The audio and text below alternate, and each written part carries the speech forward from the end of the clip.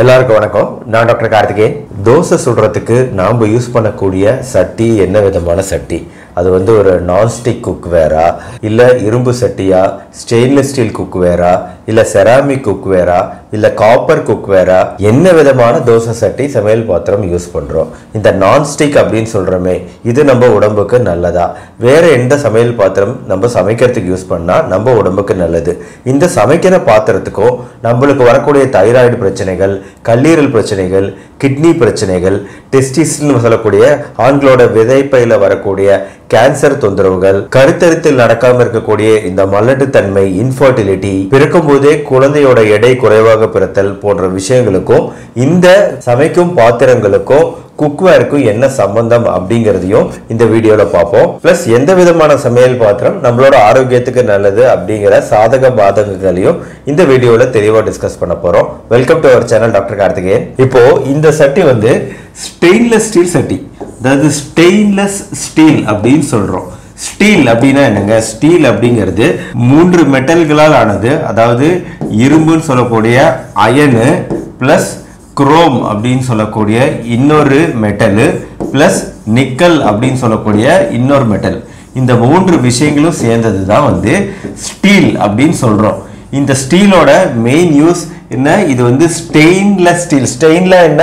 தமிழில் கரை. கரையப்படியாதது அப்படின்னு சொல்கிறாங்க அதனால தான் இதுக்கு பேர் ஸ்டெயின்லெஸ் ஸ்டீல் ஸோ இந்த ஸ்டீல் வந்து அவ்வளோ சீக்கிரம் டே கரைப்படியாது துரு பிடிக்காது அவ்வளோ சீக்கிரம் டேமேஜ் ஆகாது. இன்னொரு அட்வான்டேஜ் என்னென்னா இது வந்து சூடுபடுத்தும் போது அந்த சூடு வந்து ஈவனாக இந்த சட்டி ஃபுல்லாகவே ஈவனாக பரவக்கூடிய வாய்ப்பு. இந்த ஸ்டெயின்லெஸ் ஸ்டீல் சட்டிகளை யூஸ் பண்ணும்போது ஸ்டெயின்லெஸ் ஸ்டீல் பாத்திரங்களை யூஸ் பண்ணும்போது நம்மளுக்கு கிடைக்குது. ப்ளஸ் ரிலேட்டிவ்லி மற்ற பாத்திரங்களோட கம்பேர் பண்ணும்போது இதோட விலையும் ரொம்ப கம்மியிலேருந்து ரொம்ப அதிக வரைக்குமே பல்வேறு வெரைட்டியில் கிடைக்குது. இப்போ நீங்கள் இந்த ஸ்டெயின்லெஸ் ஸ்டீல் பாத்திரங்கள்லாம் வந்து எவ்வளோக்கு வாங்கியிருப்பீங்க? இரநூத்தம்பது ரூபா முந்நூறுரூவான்னு கூட வாங்கியிருப்பீங்க. ஆனால் நீங்களே அமேசானில் போய் பாருங்களேன் சில கம்பெனிகள்லாம் இருக்குது லீ க்ரூசாட்னு இருக்கு கியூசினார்ட் இந்த மாதிரி நிறைய இன்டர்நேஷ்னல் பிராண்டும் வந்து அமேசானில் பார்த்தேன். இதெல்லாம் வந்து ரேட் எவ்வளோ முப்பத்தஞ்சாயிரம் நாற்பதாயிரம் இருக்குது.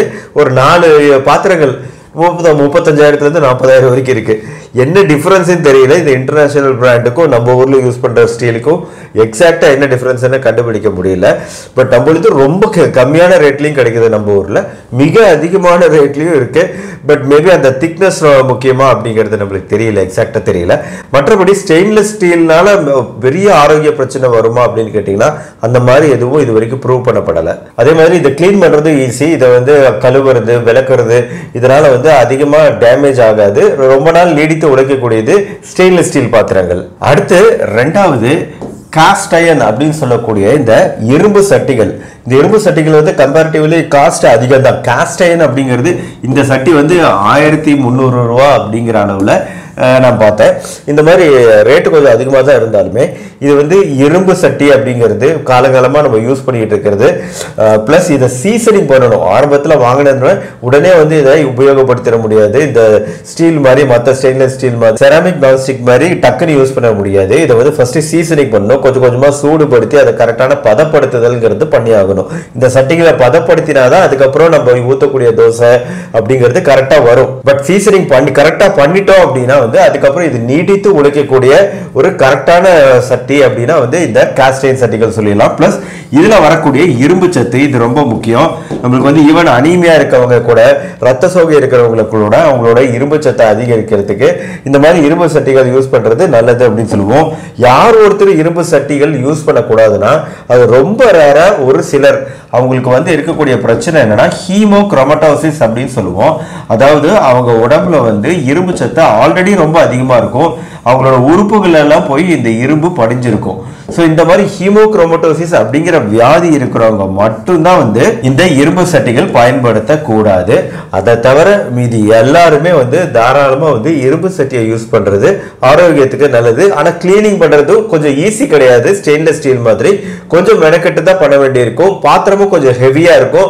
வெயிட்டாக இருக்கும் அப்படிங்கிற பிரச்சனையை தவிர இதுலேயுமே வந்து ஆரோக்கிய பிரச்சனைகள் அப்படின்னு பெருசாக நம்ம எதையும் சொல்லிட முடியாது. அடுத்தது அலுமினியம் அலுமினியம். அலுமினியம் பொருட்கள் வந்து ரொம்ப வெயிட் கம்மியானது. எடை குறைவாக இருக்கும். க்ளீன் பண்ணுறது ஈஸி குக் பண்ணுறது சமைக்கிறது ஈஸி போன்ற விஷயங்கள்னால அலுமினியம் கூட நிறைய நேரம் பயன்படுத்தப்படுது. அலுமினியம் பொறுத்த வரைக்கும் இருக்கக்கூடிய ஒரு பிரச்சனை என்னென்னா இந்த அலுமினியம் வந்து கிட்டத்தட்ட அலுமினியம் பாத்திரங்கள் நம்ம ரெகுலராக சமைக்கிறதுக்கு யூஸ் பண்ணுறோம் அப்படின்னா ஒரு ஒன்பதுலேருந்து பதினோரு மில்லிகிராம் அளவுக்கு அலுமினியம் நம்ம உடம்புல போய் சேருது. என்னென்னா ஒரு நிறைய ஆராய்ச்சிகள் இது குறித்து நடந்திருக்கு. இதுல ஒரு ஆராய் நிறைய ஆராய்ச்சிகள்ல வந்து மெயினா என்ன பார்த்துருக்குறாங்கன்னா இந்த அ- மூளையில வரக்கூடிய அல்சீமர் அப்படிங்கிற ஒரு பிரச்சனை இருக்குது. உங்க எல்லாருக்குமே தெரியும். வயசு ஆக ஆக வரக்கூடிய மூளை சுருங்கி ஒரு மாதிரி அல்சீமர்னு ஒரு ஞாபகம் மறதி நோய் வருது. ஸோ அந்த நோய் வரத்துக்கு இது ஒரு காரணமாக இருக்கலாமா அப்படிங்கிற மாதிரி நிறைய ஆராய்ச்சிகள் நடந்திருக்கு. ஏன்னா நிறைய அலுமினியம் நம்ம ரத்தத்தில் போய் கலக்கிறதுனாலையும் இதுக்கும் அதுக்கும் ஒரு சம்மந்தம் இருக்கிற மாதிரி ஆராய்ச்சி நடந்தாலும் இது வந்து ப்ரூவ் பண்ணப்படலை. இது வரைக்கும் கிளியரான எவிடன்ஸ் கிடையாது. இதுக்கு வந்து இது அல்சீமருக்கும் இந்த அலுமினியம் பாத்திரங்கள் யூஸ் பண்ணுறதுனால வரத்துக்கும் கிளியர் கட்டான எவிடன்ஸ் இல்லைனாலும் முடிஞ்ச அளவு நிறைய பேர் இப்போ இந்த அலுமினியம் பாத்திரங்கள் அவாய்ட் பண்றாங்க.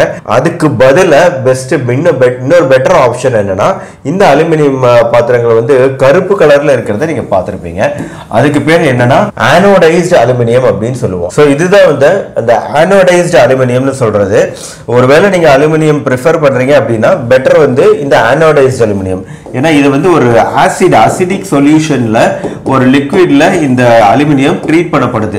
ஸோ இந்த அசிடிக் சொல்யூஷனில் ட்ரீட் பண்ணப்படும் போது இந்த அலுமினியம் பாத்திரங்களில் குக் பண்ணக்கூடிய சமைக்கக்கூடிய பொருள்கள் இந்த அலுமினியம் வந்து உணவோட கலக்கக்கூடிய சான்சஸ் கம்மி. இந்த ஆனோடைஸ்டு அலுமினியம் பாத்திரங்கள் யூஸ் பண்ணும்போது ஸோ அலுமினியம் அவாய்ட் பண்ணுறது பெஸ்ட்டு இல்லை நம்ம யூஸ் பண்ணணும் அப்படின்னு நினச்சோம்னா ஆனோடைஸ்டு அலுமினியம் யூஸ் பண்ணுறது பெட்டர் இப்போ காப்பர் பாத்திரங்கள் சமைக்கிறதுக்கு நம்ம யூஸ் பண்ணுறோம் காப்பர் சட்டிகள் இருக்குது இந்த காப்பர் பொறுத்த வரைக்கும் நம்ம ரெகுலரா காப்பர் யூஸ் பண்றது நல்லதில்லை. ஆனா காப்பர் வந்து நல்ல சூடு வே- வேகமா கண்டக்ட் பண்ணக்கூடியது. மிக வேகமா சூடுபடுத்தக்கூடிய ஒரு நல்ல மெட்டல் தான்.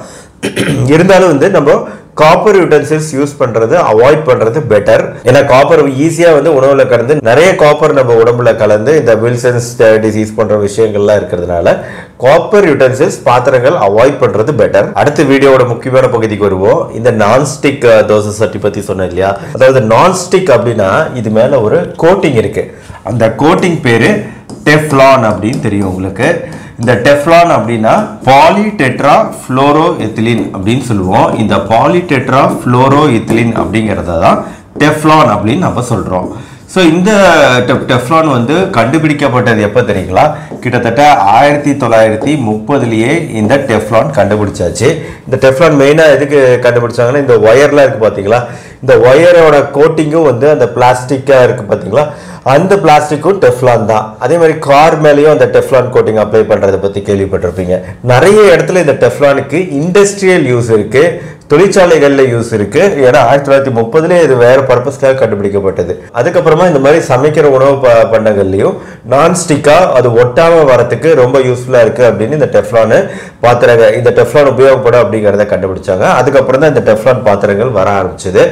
ஆனா இப்போ இந்த டெஃப்லான் கோட்டிங்னு சொல்லிட்டு வெறும் பிடிஎஃப்இ அப்படின்னு சொல்லக்கூடிய இந்த பாலிடெட்ரா ஃப்ளோரோஎத்திலின் மட்டும் இருந்திருந்தா பிரச்சனை இல்லை. ஆனா நிறைய பாத்திரங்கள்ல அதை உருவாக்கும் போது பிஎஃப்ஓஏ அப்படின்னு சொல்லிட்டு பெர் ஃப்ளூரோ ஆக்டனோயிக் ஆசிட் அப்படின்னு சொல்லிட்டு ஒரு கெமிக்கல் வந்து இதில் உபயோகப்படுத்தியிருக்கிறாங்க.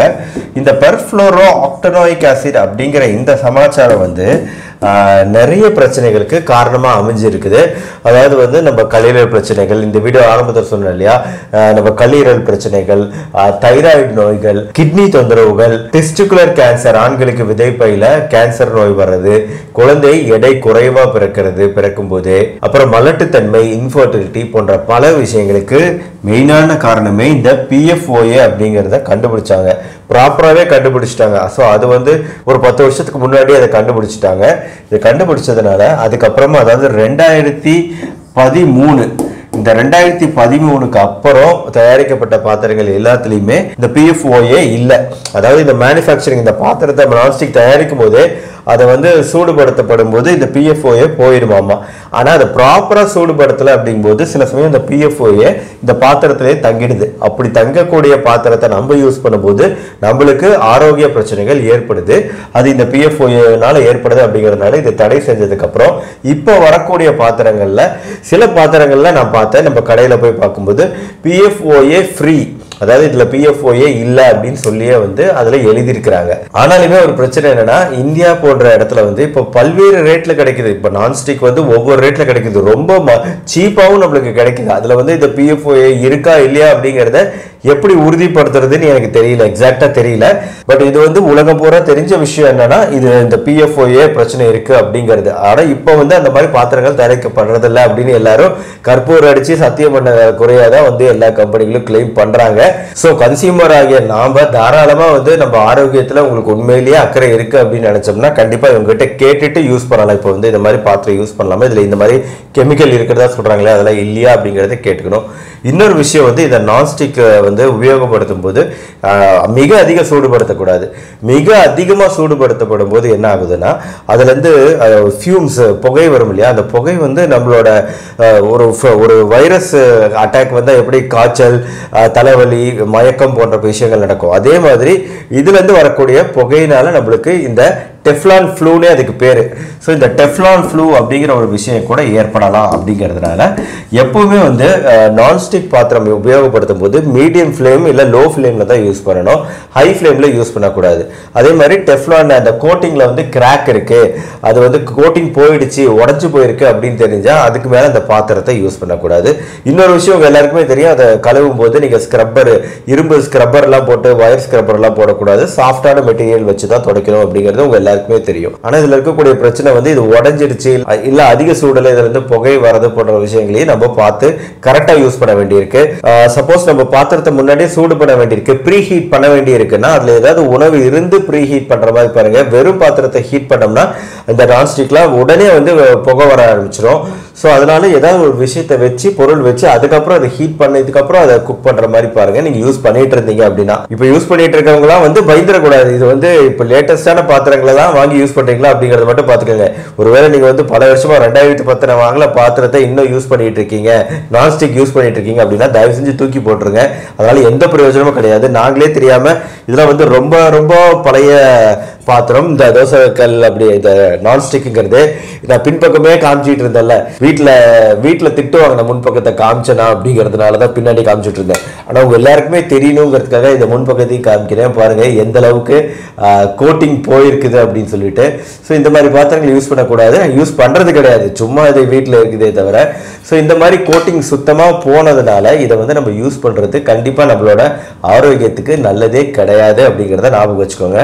கடைசியாக இப்போ லேட்டஸ்ட்டாக வந்திருக்கக்கூடிய ப்ராடக்ட்டு இதெல்லாம் வந்து செராமிக் கோட்டட் அப்படின்னு சொல்கிறாங்க இந்த செராமிக் கோட்டட் அப்படிங்கிறது சேஃப் அப்படின்னு சொல்லிட்டு சொல்கிறாங்க எப்படி நான்ஸ்டிக் சேஃப்னு சொல்கிறாங்களோ அதே மாதிரி தான் செராமிக் சொல்கிறாங்க பட் இது ரொம்பவே நியூ ப்ராடக்ட்டு எந்த அளவுக்கு இதோட சேஃப்டி இருக்குது ஆரோக்கிய பிரச்சனைகள் ஏதாவது இருக்காங்கிறதுக்கான கிளியரான எவிடன்ஸ் இல்லை இது வரைக்கும் ஸோ மார்க்கெட்டில் இது ஒரு நியூ ப்ராடக்ட் மற்றபடி காலங்காலமாக நம்ம யூஸ் பண்ணிட்டு இருந்த இந்த மண் பானைகள் மண் சட்டிகள் இதை சமைக்கிறதுக்கு நம்ம யூஸ் பண்ணோம். குழம்பு வைக்க யூஸ் பண்ணோம். தோசை ஊற்று கூட யூஸ் பண்ணோம். இப்பயே இதை நம்ம உபயோகப்படுத்துறது இல்லை அப்படிங்கிறத என்னோட நீங்கள் பெட்டராக சொல்லுவீங்க. கண்டிப்பா உங்களோட பதில நான் கமெண்ட் செக்ஷன்ல எதிர்பார்க்கிறேன். ஏன் நம்ம அதை யூஸ் பண்றது அப்படிங்கறத பத்தி. இதுல வந்து எந்த ஆரோக்கிய பிரச்சனையும் கிடையாது அப்படிங்கிறது தான் சயின்ஸ் சொல்லுது. கிளே பாட்டு பொறுத்த வரைக்கும் எதுவும் பெரிய ஆரோக்கிய பிரச்சனைன்னு ஒண்ணுமே கிடையாது. இப்போ ரொம்ப ஆரோக்கியமான விஷயம் தான் அப்படிங்கிறது தான் சயின்ஸ் சொல்லுது. ஸோ சமையல் பாத்திரங்கள் குறித்த இந்த வீடியோ உங்களுக்கு பிடிச்சிருக்குன்னு நினைக்கிறேன். பிடிச்சிருந்தா கீழே லைக் பட்டன் பிரஸ் பண்ணுங்க. நம்ம சேனல் டாக்டர் கார்த்திகேயன்.